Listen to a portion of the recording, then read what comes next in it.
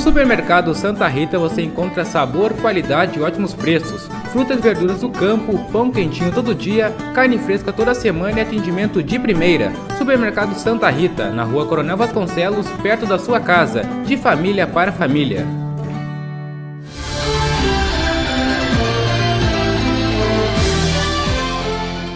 Foi realizado na sexta-feira, 20 de outubro, a semifinal do Campeonato Regional de Futsal de Tapes. Confira os resultados. A equipe Arroio Piranga, que sai invicto no campeonato sem nenhuma derrota, venceu a equipe Independente Sentinela por 4 a 2. E a equipe Tiririca, uma das revelações do campeonato, venceu a equipe CSC Roscato de Lopes por 4 a 2.